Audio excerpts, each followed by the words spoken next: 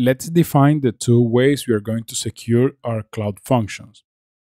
There are two different types of communications for our cloud functions. One is server to server communications. This means that the request comes from another secure server. And the other one is client to server communication. This means that the request is coming from a browser, a mobile application, and so on. First, we are going to talk about server to server communication. For server to server communication, there are multiple ways we can add. One of my favorite approaches is to use the private API key methodology, meaning that you have a private key for your account and from your server you make requests using that key to the service. We can do the same with cloud functions. For example, let's say I want to create a function where my users can get some data they have on the database under their user ID. One way to do this from a server to server approach is to use the two key method where the user has two keys. Send them both and both have to match. Some services call them public and private keys. You can call them however you want. Let's say you decide to do this. The public key can be the user's UID and the private key can be a long random string you entered or you generate with a package like UUID or something like that. For example, it would look a little bit like this where you have that private, key, and that's a random string.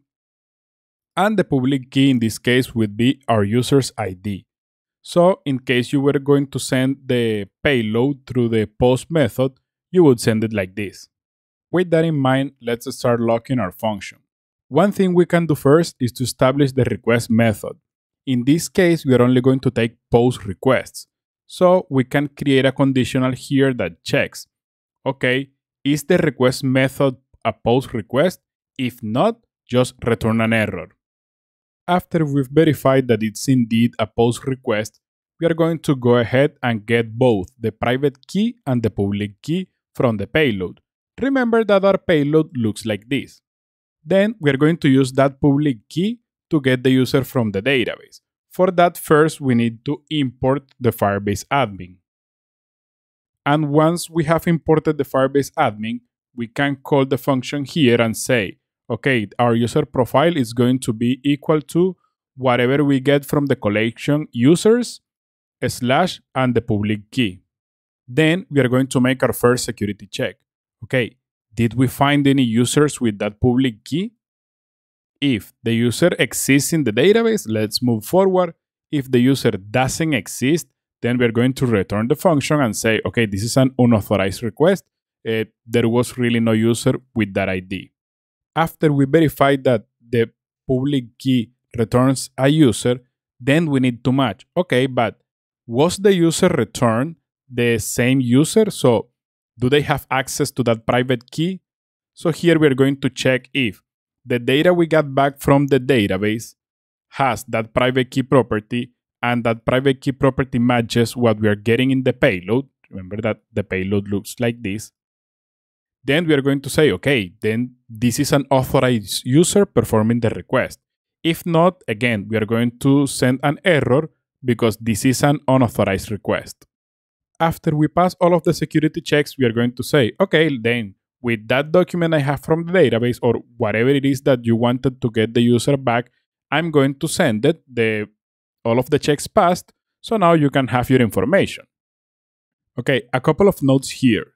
First, if you are using this approach, you need to make it extra clear for your users that the request needs to come from another secure server.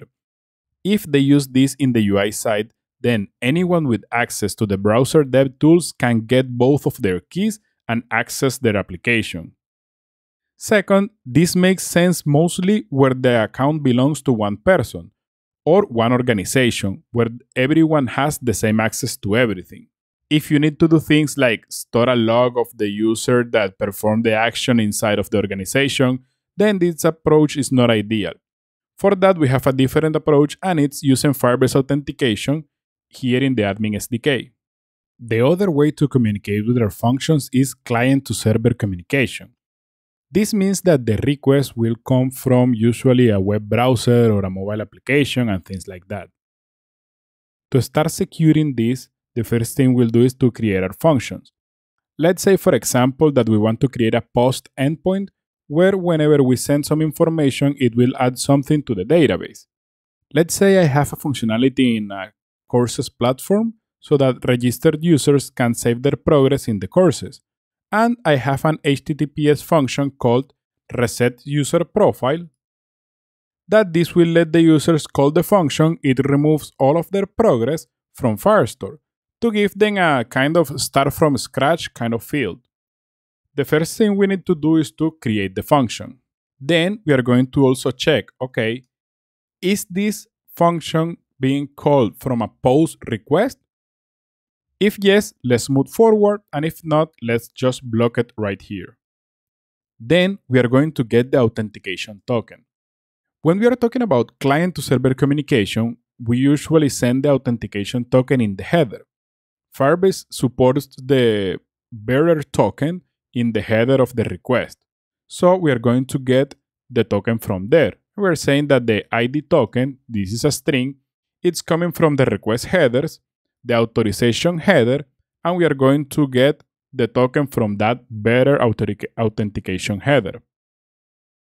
Then, if we don't find any token there, then this is an unauthorized request and we must break here and return saying uh, there was an error, we cannot move forward.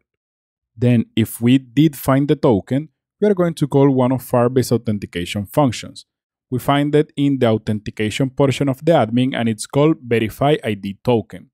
Here we pass the ID token that we got from the authentication header and we listen for errors. If there was an error decoding the token, then we return the error because that's an unauthorized request. If everything went well, then here's where we perform the logic of our application.